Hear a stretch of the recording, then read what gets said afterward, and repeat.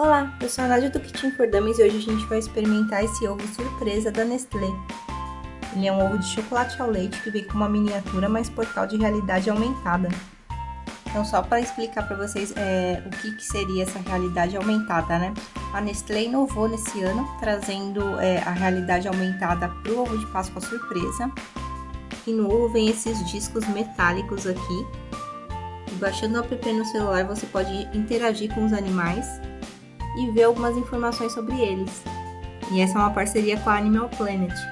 Ó, abri para vocês verem, ó, tem esse, esse copinho aqui, onde vem os brindes aqui no fundo, e o ovo aqui. Olha só, esse aqui é o brinde, vou abrir aqui para vocês verem. E olha só, o brinde aqui é uma miniatura com movimento, ó, você aperta as costas dele, olha que legal. Bem legal. E aí tem, ops, derrubei. Vem esse disco aqui de metal para você usar o portal de realidade aumentada junto com o celular e o aplicativo que você baixa na Google Play e Apple Store. E esse é o Dino Venture, né? Mas também tem o Jungle e o Sea. Então, assim, com o aplicativo de realidade aumentada, você pode interagir com o seu animal ou você pode fazer os animais interagirem entre si. Então, se você tiver mais de um animal ou se tiver um amigo que tenha, você pode brincar com isso. E aqui também eles dão umas dicas, ó, bem legal. Nossa, tem quiz também, tem informações sobre os animais, então é bem completinho, bem legal. E parece que até aqui na própria embalagem tem uma surpresa. Que é claro, eu não vou estragar pra vocês, então não vou mostrar. mostrar o ovo aqui pra vocês. Tá vendo que tem esses desenhinhos, essas texturas? Eu achei bem legal, olha que fofura, gente. Vou mostrar aqui do outro lado também. Olha só que por dentro nenhum mistério, né? Não veio nada dentro do ovo, porque fora já veio brinde. A casca dele é lisa, não tem textura.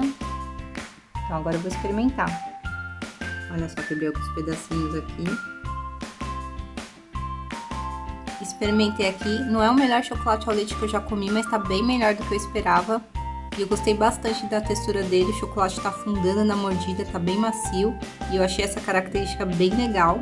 Não achei extremamente doce, só que ainda acho que o principal desse ovo realmente é os recursos que ele oferece. É claro, o chocolate é bem legal também, mas se fosse só pelo chocolate eu não compraria o ovo. Eu acho que eu até já disse algumas vezes aqui que quando eu vou comprar um ovo, quero que ele seja bem diferente do comum, com texturas, com recheios. Então acaba não ligando muito para ovo só de chocolate ao leite. Mas é lógico, quem vai dar de presente pro filho, sobrinho, etc, tenho certeza que a criançada vai adorar.